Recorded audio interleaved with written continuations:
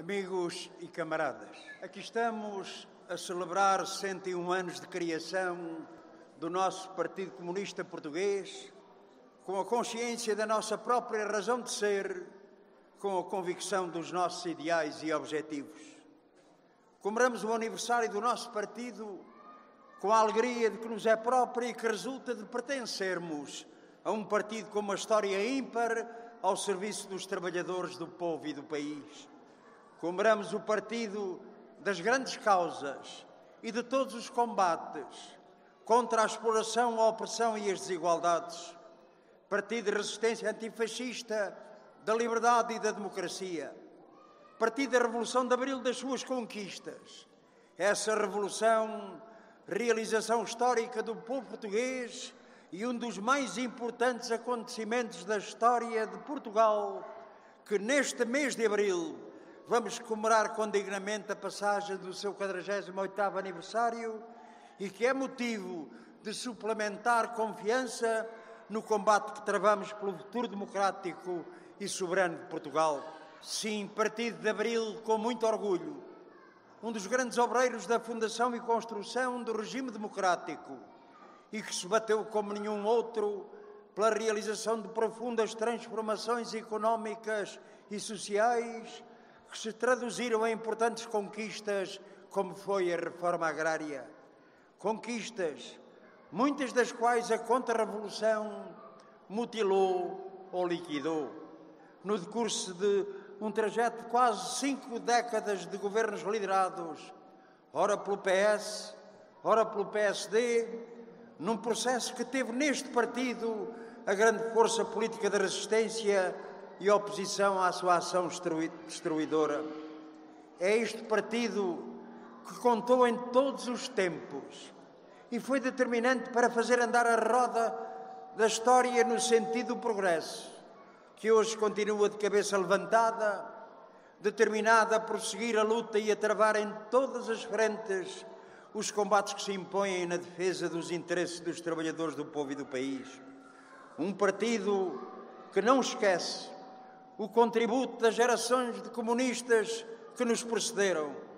Não esquece essas gerações de homens, mulheres e jovens de todas as condições sociais, muitos e muitos deste Alentejo, que deram um contributo inestimável e alguns à própria vida nas muitas lutas travadas para servir os trabalhadores e o nosso povo. Sim, camaradas, e podemos dizer com toda a convicção e determinação, as nossas posições hoje no plano nacional e internacional só confirmam que esta geração de comunistas, nós que estamos aqui, estamos a honrar o Partido Comunista pela sua firmeza, pela sua determinação, pela sua coragem.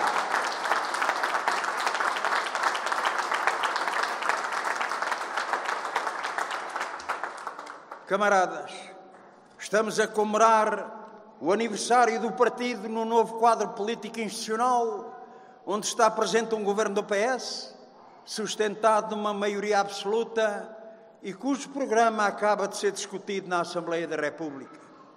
Um programa de governo que confirma as nossas mais negativas previsões em relação às respostas que faltam para dar soluções aos problemas do país problemas que vêm de longe e que os anteriores governos minoritários do PS sempre resistiram a enfrentar, apesar das nossas propostas, da nossa insistência e intervenção. Assim foi porque nunca quiseram confrontar os interesses dos grupos económicos e financeiros e sempre resistiram a abrir espaço a uma política de afirmação do desenvolvimento soberano do país. Assim tem sido porque se apresentaram sempre numa posição de dependência e submissão à tutela da União Europeia, no que, que tudo passou a determinar no que é essencial e determinante na ação governativa. O governo do PS tem agora a maioria absoluta que ambicionava.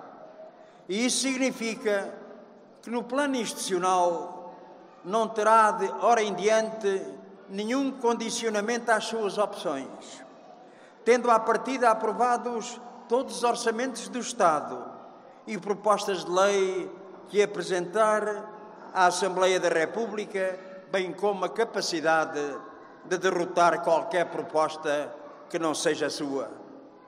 E o debate do programa de governo já fez luz sobre o que se pode esperar da ação do governo do PS e das suas opções nos próximos anos. O governo nega-se a reconhecer a existência e profundidade dos problemas estruturais do país, para não ter de se confrontar com responsabilidades de dar resposta. Desvaloriza as consequências desses problemas na vida dos trabalhadores e do povo e o fator constrangedor e bloqueador que constituem de um projeto de desenvolvimento soberano do país. Perante problemas com a dimensão e profundidade daqueles que enfrentamos, o governo PS limita-se a apontar medidas temporárias, transitórias, para atenuar as suas consequências, recusa as soluções que poderiam assegurar uma resposta global aos problemas nacionais e remete para terceiros, nomeadamente para a União Europeia, a possibilidade de condicionar as decisões sobre eles. O PCP levou ao debate do programa de governo cerca de três dezenas de soluções e compromissos concretos de resposta aos problemas nacionais uns mais imediatos, outros mais de fundo. Não houve um que o PS e o Governo dessem perspectiva de querer corresponder e assim deixaram levar pelo vento as, as vãs proclamações de abertura, de disponibilidade para o diálogo, para a convergência.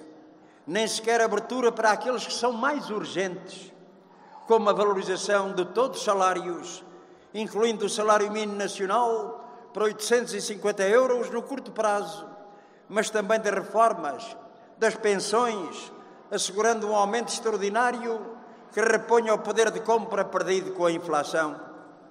Estas opções e atitude da maioria absoluta do PS não espantam, mas são verdadeiramente reveladoras da intenção do PS continuar a recusar a resposta aos problemas que infernizam a vida dos trabalhadores e do povo e comprometem o desenvolvimento do país. Essa resposta exige, no imediato, medidas para enfrentar os problemas do aumento do custo de vida, com uma política de controle e fixação de preços de bens e serviços essenciais, a par do aumento geral dos salários e das pensões, para evitar a perda de compra. Exige medidas para impedir que os grupos económicos tal como fizeram com a epidemia, façam agora da guerra na Ucrânia e das sanções um pretexto para aumentar preços e acumular milhões de lucros à custa das condições de vida do povo e da economia nacional. Dessa guerra que urge por termo, dando prioridade ao desenvolvimento de iniciativas e medidas que possibilitem um cessar-fogo, uma solução política do conflito não incentivando a escalada, carregando mais armas para o conflito. Desde 2014 que o PCP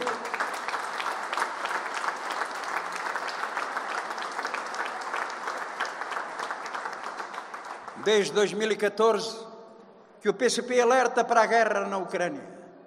Durante oito anos estivemos sozinhos na denúncia e na condenação da guerra na exigência de soluções de paz, na defesa do respeito pelo direito do povo ucraniano.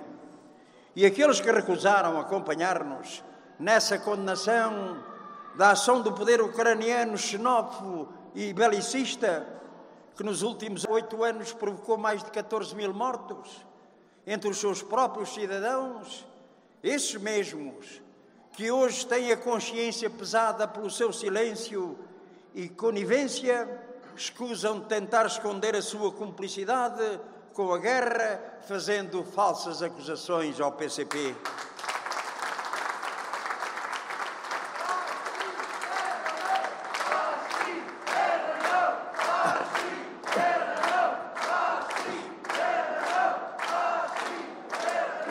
O percurso do PCP não admite qualquer dúvidas quanto à nossa posição. Condenamos a guerra toda a guerra que levou e leva já oito anos na Ucrânia. Condenamos todo um caminho de ingerência, violência e confrontação, o golpe de Estado de 2014, promovido pelos Estados Unidos na Ucrânia, que instaurou um poder xenófobo e belicista, mas também a recente intervenção militar da Rússia na Ucrânia e a intensificação da escalada belicista dos Estados Unidos, da NATO e da União Europeia.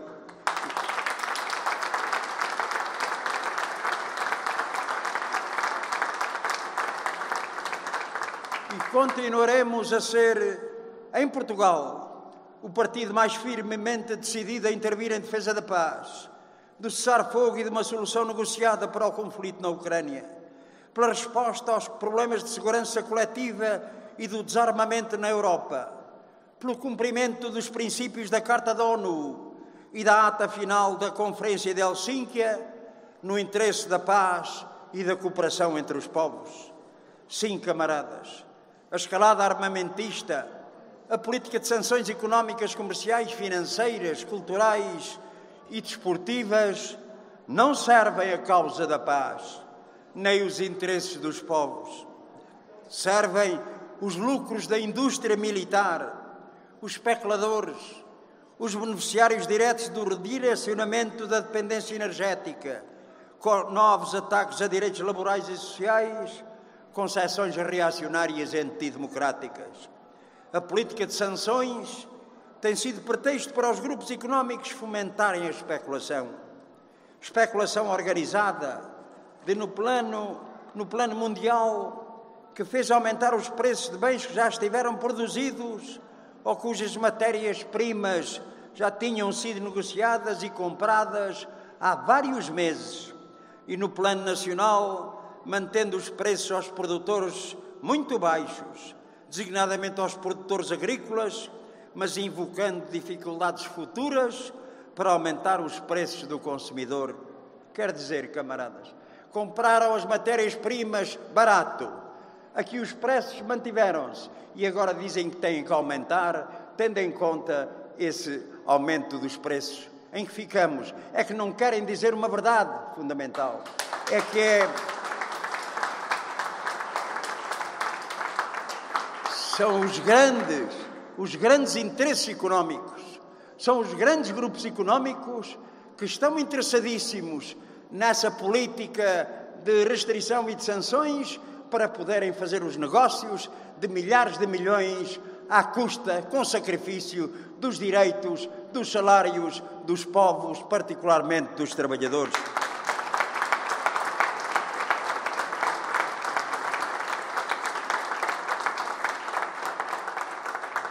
Especulação, sim.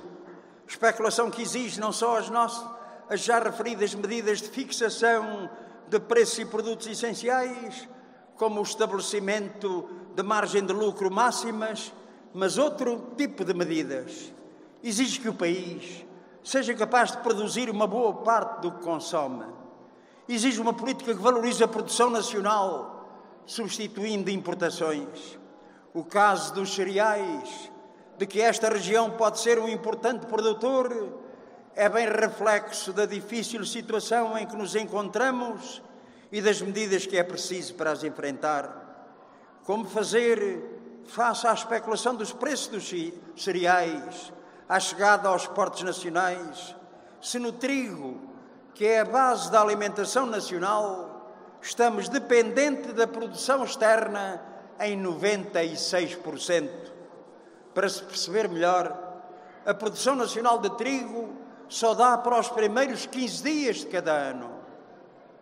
Se é certo que não teremos condições para produzir todos os alimentos que consumimos, estamos perante um crime de lesa pátria, perpetrado por aqueles que ao longo destas décadas patrocinaram a destruição da produção nacional.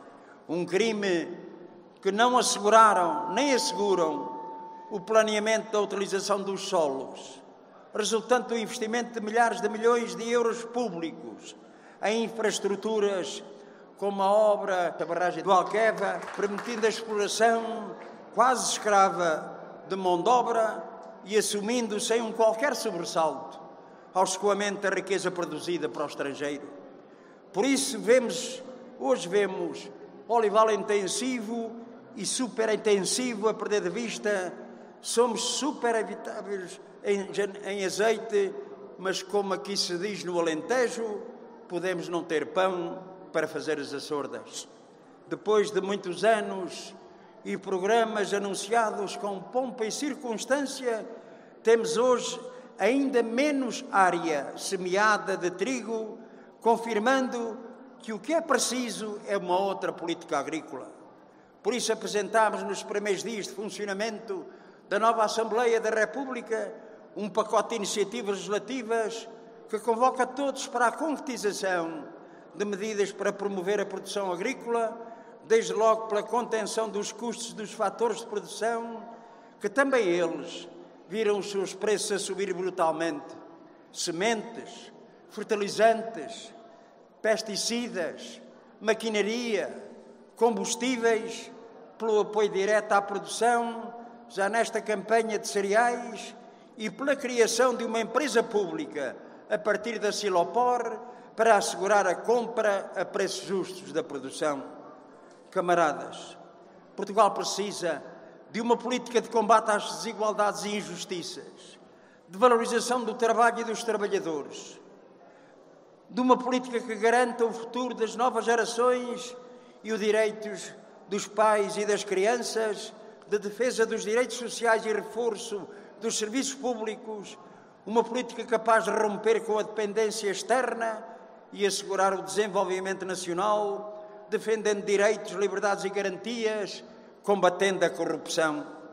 Uma política que valorize os salários e as pensões, que altera a legislação laboral para defender os trabalhadores dos despedimentos, da precariedade, da desregulação dos horários de trabalho e de outras formas de agravamento da exploração, de uma política que assegure o investimento público necessário à modernização do país e à garantia do futuro com a criação de uma rede pública de creches, o acesso à habitação, à qualificação dos serviços públicos no SNS, na escola pública ou na cultura, de uma política que garanta proteção social aos desempregados, às pessoas com deficiência, a todos quantos são vítimas da exclusão social.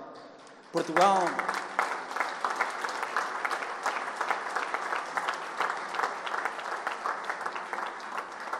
Portugal precisa de uma política que aposte na produção nacional, na agricultura, nas pescas, na indústria, de uma política que ponha empresas e setores estratégicos ao serviço do desenvolvimento nacional seja na banca, nos transportes, nas comunicações, na energia ou na ciência. De uma política fiscal que alivie os impostos sobre o trabalho e os rendimentos mais baixos e intermédios, tributando de forma efetiva os rendimentos mais elevados e os lucros dos grupos económicos, combatendo a fraude, a evasão e a especulação. É dessa política que o povo e o país precisam, que o programa do governo não fala e que o PS recusa. Mas é essa a política capaz de garantir a resposta global aos problemas do país, de desenvolvimento soberano, de um futuro de progresso e justiça social e por isso nos continuamos a bater. Camaradas, sabemos do quadro difícil que enfrentamos, mas este Partido Comunista português nunca se deteve perante as adversidades e dificuldades. Sabemos que os desafios são enormes, mas cá estamos decididos a enfrentá-los. É olhando em frente e com confiança neste grande e coerente partido que continuamos o nosso combate. Deste partido portador da esperança, que não desiste nem descansa de alcançar um Portugal com futuro. Deste partido.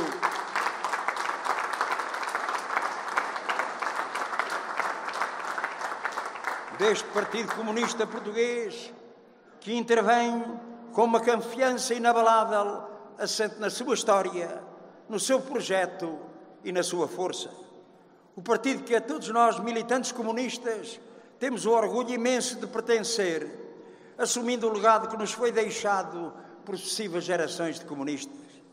Deste partido que aqui está ancorado na convicção da valia, da valia e atualidade de um projeto que persegue o nobre ideal da emancipação e libertação da exploração dos trabalhadores e do povo, porque queremos uma vida melhor para quem trabalha, porque queremos um Portugal desenvolvido, de progresso, independente, mais justo e solidário. Deste partido, sempre determinado e combativo no cumprimento do seu papel, na defesa dos interesses populares, por uma política patriótica e de esquerda, por uma democracia avançada pelo socialismo e o comunismo.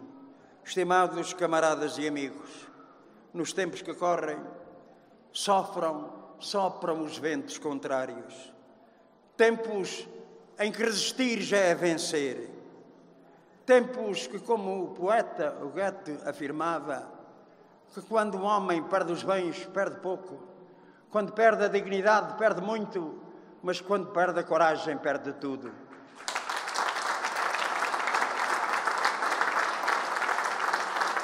Sim, é verdade, camaradas.